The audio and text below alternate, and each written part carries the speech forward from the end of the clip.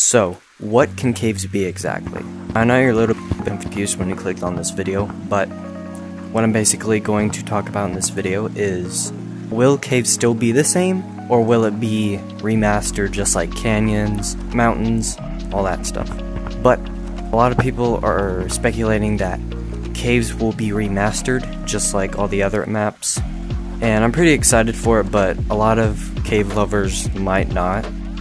I also want to point out that we will be getting new music for Caves 2.0, and that has already been leaked. I'll put it up on the screen right now.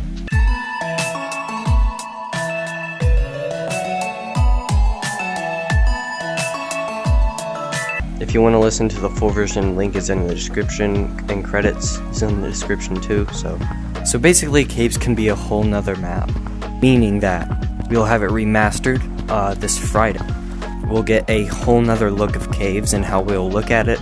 Maybe, and if they do renew it, um, hopefully they. It'd be better if they were to keep the old caves and expand it a little bit. It can be the same, but um, also introduce new physics like ropes. I don't know why they would add ropes, but they've added ropes in canyons and to beach beach map. Um, we could. It'd be cool if they added zip lines and caves again. Now that I'm thinking about it, um, they probably closed off caves to renew it.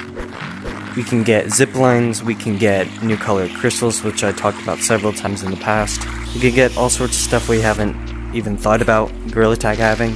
We can get tents, we can get um, all sorts of stuff. Hopefully, the cave opening, like I said in the previous video, will be like a horror game mode. Hopefully, the leak we got a while back leaded to a new game mode or something, like a horror game mode everyone has been wishing for. It could introduce stuff we've never seen before, um, such as like uh, things you can pick up or something. That'd be cool if you could just like pick up a pickaxe that's around it or something. But it'd be pretty funny if Caves was just exactly the same for no reason at all. Like they just closed it off for no reason. This is just a short video on what will caves be like. And yeah, that's all I have to say. Um, I can't wait for the update and just excited for what Gorilla Tag and Lemming has to offer. And yeah, we will see what it is this Friday.